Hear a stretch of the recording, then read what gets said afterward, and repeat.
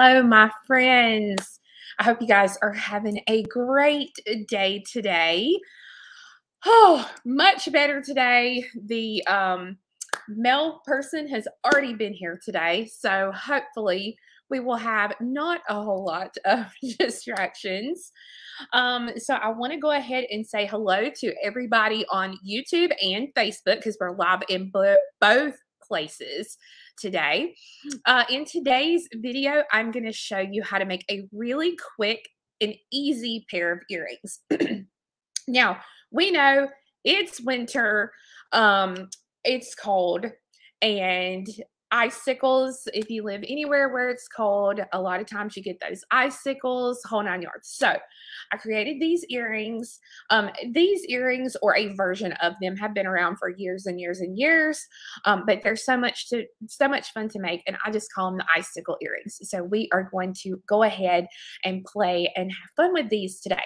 Now, to make these earrings, I actually have kits for them available on my website. And I'm going to go ahead and kind of link some of those here at the bottom so you'll kind of know where they're at on the website. Uh, right now, they're still a brand new product. So if you scroll all the way to the bottom of offthebeadedpathbeadstore.com, you'll see them under the new items category. Um, but I have a crystal AB, I have a blue version, and I have a pink version because you got Valentine's Day coming up. Uh, but we got these absolute beautiful new crystals in. They're a Czech crystal, but they're so pretty. And I thought, okay, we need to make something with these. So that's what I'm going to do today. I'm going to show you how to do these. Now, when we do these, here's what you're going to need. You're going to need two head pins. All right.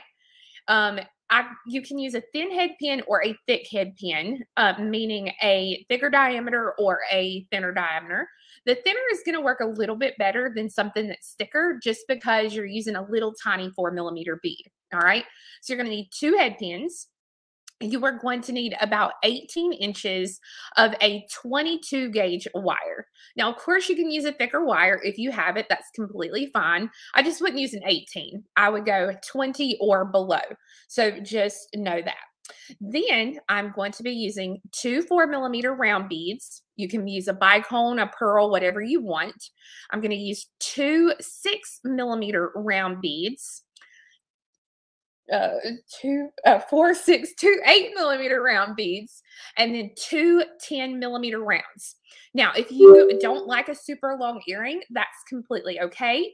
You can just take one of the beads off. So like a 10 or a, you know, an eight, whatever you want, just to make them shorter. So it's completely up to you. Only other thing you're going to need is some ear wires and some tools. So today I'm going to be using a basic round nose plier. Okay, I'm going to be using some flat nose pliers like this. If you also have bent nose, they work really well. And then I'm going to be using a cutter, just a regular cutter um, to do this project with as well. Uh, it'll be helpful for a ruler if you have a ruler. Um, and that's about it. So, one thing that I would love for you to do in the comments, I would love for you to leave me a comment and let me know if you guys have enjoyed having a couple of live videos this week rather than filmed videos. Um, what I would love to do this year is kind of have a mix in my normal filmed videos that I do, but also do some fun lives. So if you like the lives, um, please let me know in the comment section. If you don't like the lives, then just don't comment. All right, guys. So I am going to switch cameras here. Give me just one second. Here we go. Okay. Um, so here are the earrings that I'm going to show you how to do today.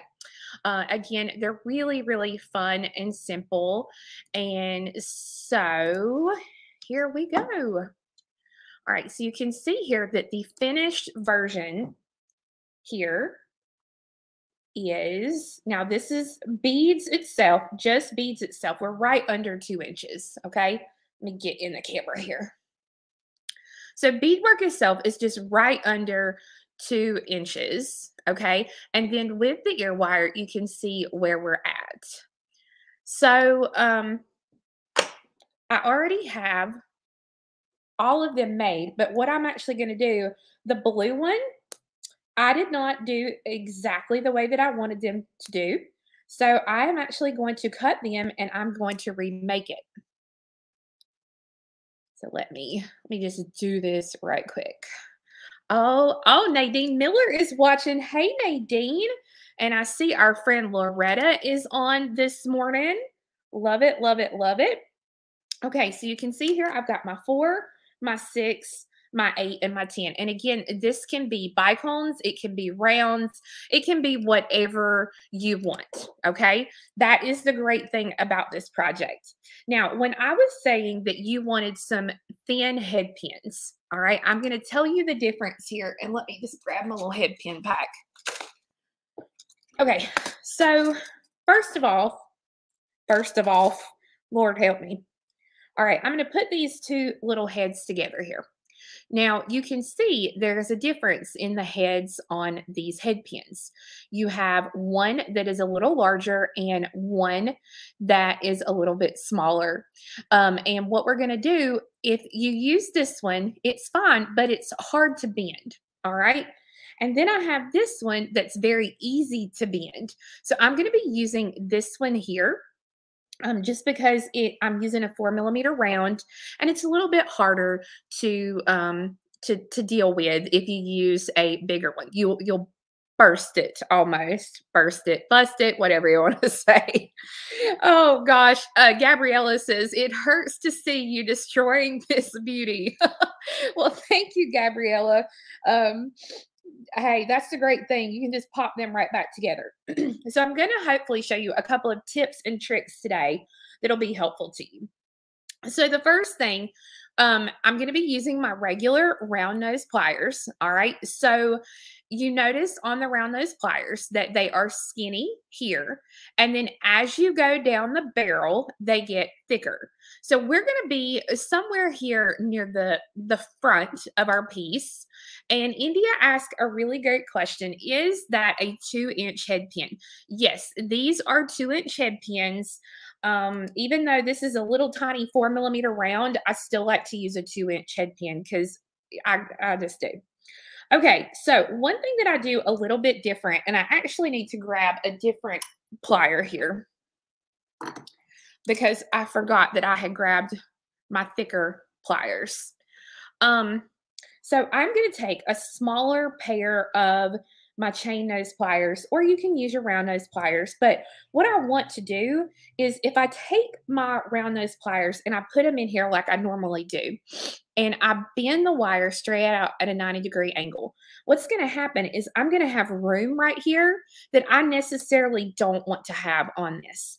So what I'm going to do is I'm going to take these small chain nose pliers and I'm going to grab, you can barely see there, just barely right above it. And I'm going to hold the bead and I'm going to turn the wire.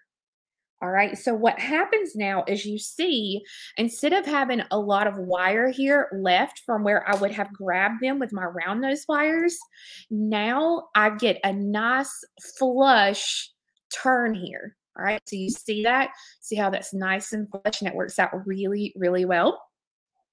So here's what I am going to do now is if you want every single loop that you're going to do to be the same size, one really important tip or trick for you, and I'm grabbing me a Sharpie, is if you'll take a Sharpie and mark on the Sharpie where you're going to make your loops. All right. So I'm just going to put a little mark right here. All right. So this will just help me know that if I grab here every single time, I'm going to get the same size loop. All right. So I'm going to grab the wire right there where I made my little marks. and I'm going to bend the wire back over itself like this.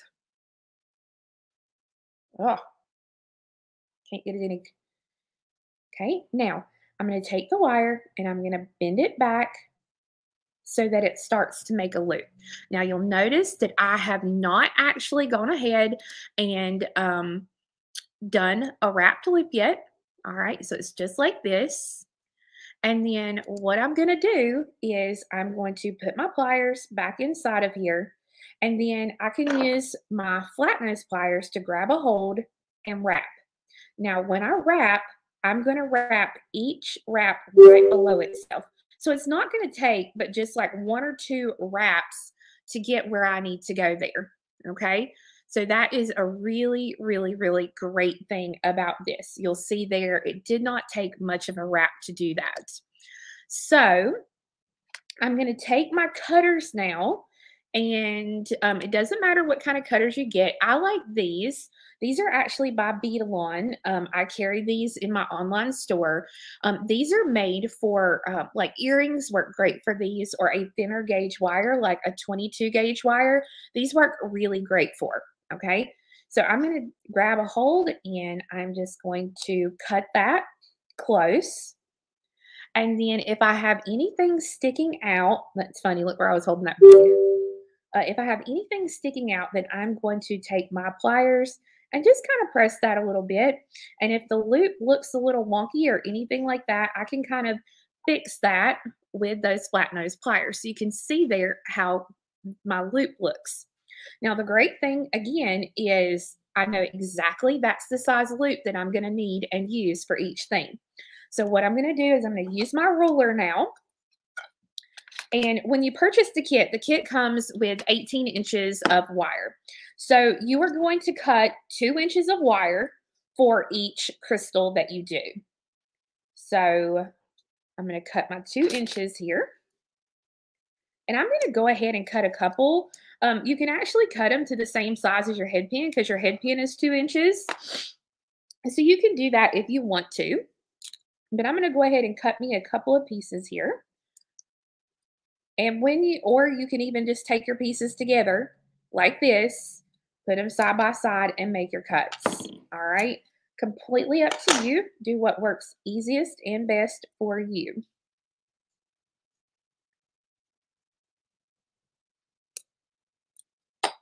Okay, so here we go. This part right here is going to be one of those things that you are going to have to practice, okay? If you're new to jewelry making, especially earrings, this is something that you definitely want to practice. So I'm going to take my pliers and I'm going to come down. Mm, I'll measure it exactly so you'll know. So I'm going to come down about three quarters of an inch. And I'm going to, again, grab right here at the very tips of my pliers. And I'm going to turn that short piece of wire straight out so that it makes a 90 degree angle, just like this. now, again, remember I marked my pliers, so I'm going to put the pliers in right where I marked them. And then I'm going to bend the wire back over itself and I can put the pliers back in there again. And you see when I put them in, they're right there on that mark. They're exactly where they need to be. So now I can take this little tip and move it back like this so that I am ready. So India asked a really good question. India said, do you prefer wire working or bead weaving? I like both, but prefer bead weaving. Um, yes, India, I am like you. I do both. Um, but I like my bead weaving the best completely. Okay, so what I'm doing so that I can explain myself, not get ahead of myself, um, I'm going to take my four millimeter bead here, that loop that I made, and I'm going to thread it on so that it falls down into my little loop that I have here. Now, one thing that I'm going to do is I'm going to take my pliers and I'm going to use my round nose pliers and I'm going to go across the new loop. So you can see here, it's holding this loop. What this will do, this will stop you from losing that perfect circle shape that you've got right now because I've got a perfect circle. So if I put my pliers right here, that is going to stop me from losing that beautiful shape that I have. All right. So now I can take my other flat nose pliers and grab a hold and I can wrap. So again, I'm going to start here, right here at the base of the little neck, and then just wrap. And the thing again about using a thinner wire is that I can only, you know, do just a couple of wraps and I'm set. Now, if you're like, oh my gosh, that is way too short for me to deal with, then you can come in about an inch. It's fine. No worries. And then I'm going to take and I'm going to trim that itty bitty bitty piece I had left right there. And again, if I have a piece that's sticking out, I can grab a hold of it and press it in. Now, what this is going to help with, what when we made our little marks here as well, what this is really going to help with a lot is when you are um, doing your earrings, this will make all of our loops the exact same size so that both of our earrings will be exactly the same length and you won't get one that's a little shorter than the other. All right.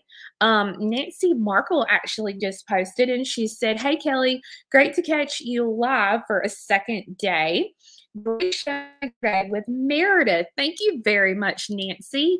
Um, for those of you who don't know, I was on the Beadalon group yesterday teaching how to do crawl. And I had a great time with India. Absolute great time, or great time with Meredith. Love her to death. All right, so I'm going to do that same trick because I don't want a ton of wire here for me to have to deal with. So what I'm going to do is I'm barely, you can see right there, just barely coming up past the crystal. And I'm going to turn the wire. So again, you see now, instead of having a lot of wire right here above my crystal, I now have that nice straight out wire. Okay. Oh, India said that she loved the live yesterday too. I'm so glad to hear that, guys. Okay, so again, you see there, I'm grabbing on that line that I made and I'm going to turn the wire. And again, you see it's still there, still on my mark. And then I'm going to take this little piece of wire and bend it back like this. I'm going to open up the loop just a little bit. Oh, no, I'm going to go ahead and close this lid. So I'm going to go ahead and I'm going to hold the loop. So again, the the pliers are going straight across on that loop so that I don't lose that perfect circle that I've got started there. And then I'm going to use my flat nose pliers to grab a hold and wrap. And again, the great thing is it's not going to take a whole lot of wraps. I can do just a couple to till it meets the bead, like one or two, and then I'm set and good to go. So now I can take my cutters and I can get really close in here, trim that little excess wire, and then press that in. So again, if my loop, you can see there, it turned out almost perfect. I'm super, super happy about how that turned out. And Lynn, thank you very much. She said she loved my crawl instructions. So thank you, thank you, thank you. Okay, so let's do this two more times really quickly. So again, if I measure it on my ruler, I'm going to come down about three quarters of an inch. Okay, so about right here. And I'm going to turn the wire straight out at 90 degrees. Now, if your pliers or your loops do not come out perfect, believe me, I've had 20 plus years of practice on making loops, guys. Okay. So loops are practice, practice, practice. Okay, I'm going to take my little piece here and turn it back just like this so that I have that loop. So now I'm going to take my two loops that I already have done here and thread those on. And again, I'm going to put the pliers straight across just like this so that it holds that loop, my perfect loop. And then I'm going to use my little flat nose pliers here to wrap. And it's so funny. I can tell how used to I've got to using bent nose pliers because after grabbing these flat nose today, um, I feel like I'm all thumbs. So get used to working with something. oh Lord. Uh, essentially, Angeline says, I've only had two years of practice. I stink at wire work though. Oh, honey, I, I am telling you, um, it is uh it's practice and i'll give you stay around to the end of the video and i'll tell you how i um, finally taught myself how to make loops okay so now i've got a four a six so then this is my eight here and again i'm going to grab a hold just right above there and turn. Um, and what that's going to do, that's going to keep that loop or that turn right close to the crystal. Because if you don't, and which is totally okay, all right, it's completely fine. You'll just notice here the difference in the loop. So you can see how much more a bead takes up space there because of the amount of wraps that I've had to do to get that in place. So it's practice, practice, practice. All right. So again, I come out, turn, just like that. And now I'm going to grab a hold of the loop with my round nose pliers straight across. And then wrap this wire.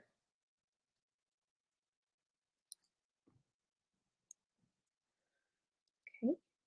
And again, that's why I love these cutters. They make these cutters, I think, in three different sizes, and I have become obsessed with every size. Um, they even make, let me grab these just because I can see them right here from where I'm sitting. They even make these right here. These are their top of the lined ones that they have. Um, these are bead Beadalon, and these actually will cut stainless steel. Um, so you could use this to cut like memory wire and stuff like that with. So I really, I like all of their cutters like these.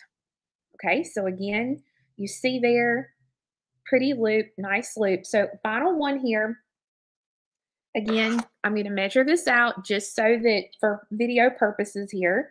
So I'm going to come out about my three quarters of an inch here and grab a hold. And I'm going to make my loop. Okay, now I wanted to do this so that you can see how to fix if something if something happens here. So you can look at this one here and you can see that this is what I call the pelican head. All right. I've always called it this because this is the head. This is the beak. The head always has to be above the wire for it to turn out right. But you can look here. Mine looks a little a little funky. So what I can do is I can put my pliers back in here and grab a hold and do like that so that now that loop is more over its neck like it's supposed to be. And that'll just help help you a little bit. So I'm going to put the pliers back in there and have that little part, thread the bead on, grab a hold of the loop, and wrap.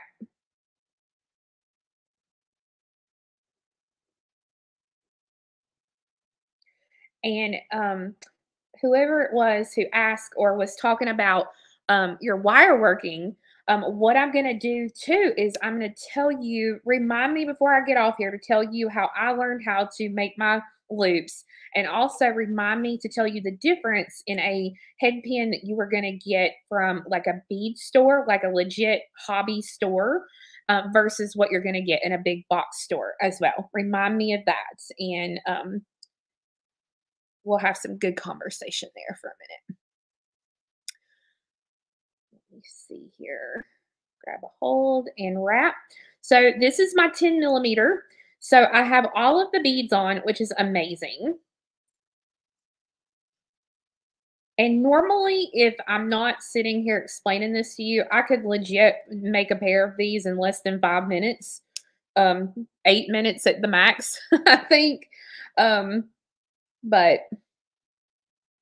there we go. Okay, so we have the beautiful earring complete. All right, again, if you want it shorter, you can leave off the top bead here.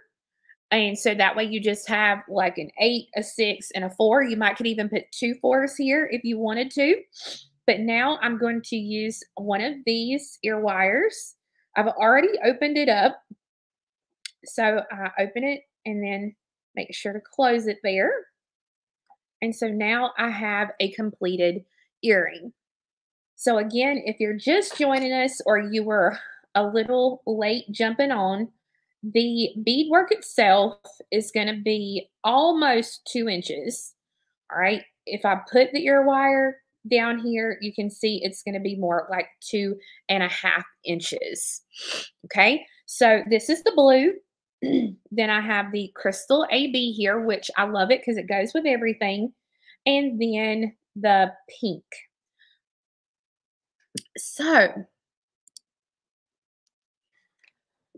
So uh, essentially, Angeline said she loves the cornflower blue. It's actually a really pretty dark blue, really, really pretty for um, this time of year. I love it. Okay, so let me explain to you how I finally taught myself to make earrings. Okay, because I think it's going to be really helpful for some of you. Number one, make sure that when you get headpins that you purchase them from a legit bead store, like a hobby type store, okay? Or, you know, somewhere uh, like I sell them in my store. Um, you can do like Potomac, uh, Cherry Tree Beads, um, Fire Mountain Gems, any of these places that are legit bead resources, okay? The metal that our head pins are made out of are a little bit different metal than what you're going to get in a big box store. When you go to a big box store, and I'm not bashing a big box store, okay? But when you go there, what happens is you get head pins that are a much denser metal. All right. So they're really hard to learn how to do earrings on. Now, I'm not saying it can't be done. I'm just saying that you're going to have a lot easier time learning on a legit headpin from a bead resource, a bead seller who just specializes in bead stuff. Okay. So it's my first tip for you. My second tip for you is that what I did is I bought myself a 50 pack of head pins and I did nothing but make a loop, put my bead on, make a loop. I cut the excess off, then I use that excess to practice with the loops that I showed you how to do today, where I've got just one piece of wire that doesn't have a head on it. Okay. so I did nothing with that 50 pack except for put a bead on, make a loop, whether it's a plain loop or a wrapped loop. If you do not know what that is, you can go to my website, off and what's going to happen is um, I have, well, not my website, my YouTube channel, which go to youtube.com forward slash off the beaded path. And I did a great series in 2020 called Back to Bead School. And it was all about earrings, learning how to make earrings. Okay. So if you don't know what a plain loop versus a wrapped loop is, go back to that video because it's going to help you greatly. Okay. Um, but if you will buy yourself a 50 or a 100 pack of head pins and do nothing but wrap, practice, wrap, practice, wrap, practice, if you don't know how to make a hit or how to do a loop after that, then then I that is the biggest help that you can do to yourself is to practice. But I have a couple of questions, it looks like, on here that I want to show. So, what about using a wire looper tool? Um, you can definitely use a wire looper tool that will work. Uh, my biggest issue with the wire looper tool, or even the tools that are so, so popular right now, where it makes your loop for you, um, that little loop that that plier makes I, know there's a lot of people who use that right now, but the, that tool is expensive. Okay. It's a very expensive tool to use when you can do the same thing with your basic tools that you already have. And you, it's best to just practice and learn it because in the long run, it'll do yourself a world much better than just re- relying on a tool all the time that's going to make your loops for you. Okay, so that is one thing you definitely, definitely want to think about. Um, looks like I have here, what gauge head pin do you prefer? Uh, me personally, I like a thinner gauge head pin, which is going to be like, a, I believe it's a 21 gauge or 22 gauge head pin. Um, you can go down to even a 24. I just like a thinner head pin, honestly, because they're a lot easier to wrap. Uh, I can pretty much on a thinner head pin, I can wrap it really quickly, whereas a thicker head pin, it takes a, uh, it takes just a second more, but um, I can wrap with a thinner head pin a lot easier.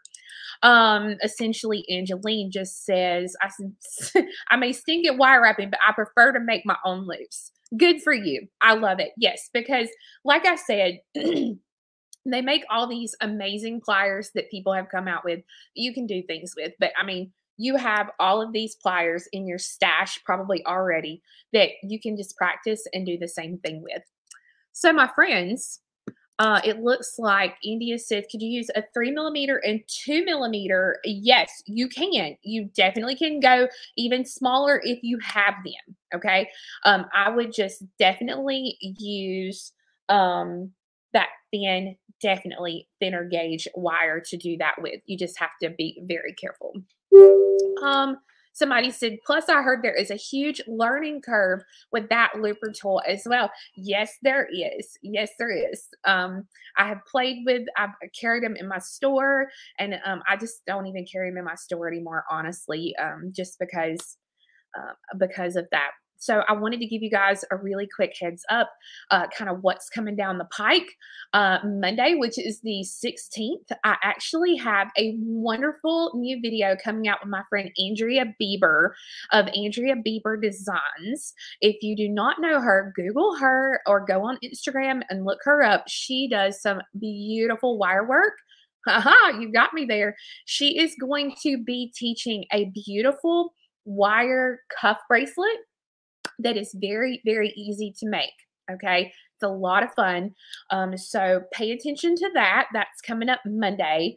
The following Monday, which is going to be the 23rd, I'm going to be doing another filmed video that is going to be for a snowflake that you can make into an ornament. You can make it into a, something to put on a card. Because one of my goals for 2023 is to also show you guys projects that you can use with your beads that aren't necessarily jewelry. Because as much as we love to make jewelry, there is only so much we can make and wear. So I'm going to be showing you some different things you can do with your beads um, that aren't necessarily jewelry. And then the last video of the month, which is going to be the 30th, um, I'm going to try to do a video for one of our little miniature snowflakes. And in between then, you never know, you might get another live that we can have a good time with and hang out. Um, so, guys, thank you so much for coming and hanging out with me today. I have had a great time answering your questions. And remember, if you need to ask me a question about the project today or beads about the project, anything, you can check out my website down there off the beaded path beadstore.com and you can hit the contact us there. You can email me off the beaded path at me, me.com, or you can call or text us at 2828 245 0306. So that way you can, again, call or text me, and I'm happy to answer any questions that you guys have for that. So, guys, thank you so much for hanging out with me today. And I hope you have a great day, a great holiday weekend. We have, I believe, Martin Luther King Day coming up on Monday. Um, so, everybody have a wonderful weekend, and we will talk again soon. Bye bye.